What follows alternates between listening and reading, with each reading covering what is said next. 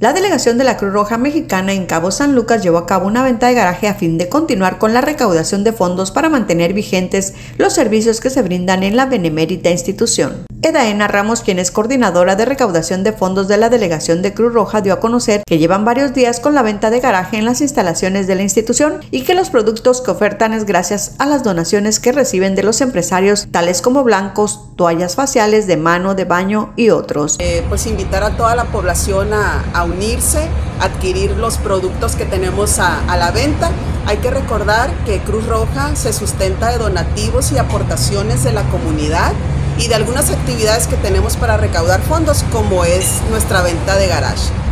Gracias a los hoteleros que nos han apoyado en donar pues artículos blancos como toallas faciales, de mano, de baño. Tenemos también ropa, eh,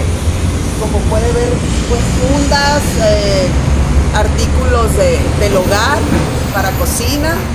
y pues ahorita vamos a seguir eh, sacando más, más cosas. Como todos ya lo saben, Cruz Roja nos sustentamos de estas actividades, no dependemos pues de ninguna eh, institución gubernamental para cubrir nuestros gastos, pues uno de ellos es la,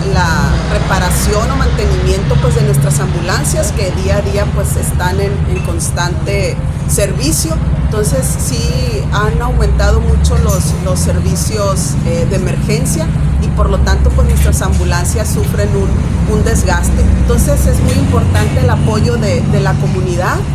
por lo anterior, la coordinadora de recaudación de fondos solicitó la valiosa cooperación de la población en general, a fin de que puedan continuar vigentes en la labor de prestar ayuda a quien así lo solicite. Recordó que la benemérita institución se sustenta de donativos y aportaciones de la comunidad y de algunas actividades que realizan, como en este caso la venta de garaje.